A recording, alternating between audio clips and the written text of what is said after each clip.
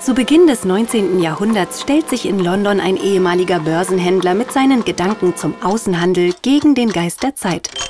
David Ricardo. Während England seine Wirtschaft mit Zollmauern schützt, wirbt Ricardo für den freien Handel. Sein Trumpf? Das Theorem vom relativen Kostenvorteil. Ricardo erklärt, Außenhandel lohne sich für alle. Selbst dann, wenn ein Land kein Gut günstiger anbieten kann als andere. Nehmen wir an, Britannien, ein prosperierendes Land mit fleißigen Menschen, gewinnt Weißbrot und Sardinen.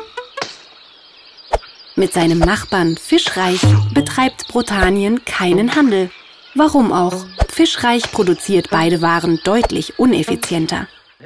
Dennoch lohnt es sich, nach Ricardo, für beide Länder miteinander Handel zu treiben.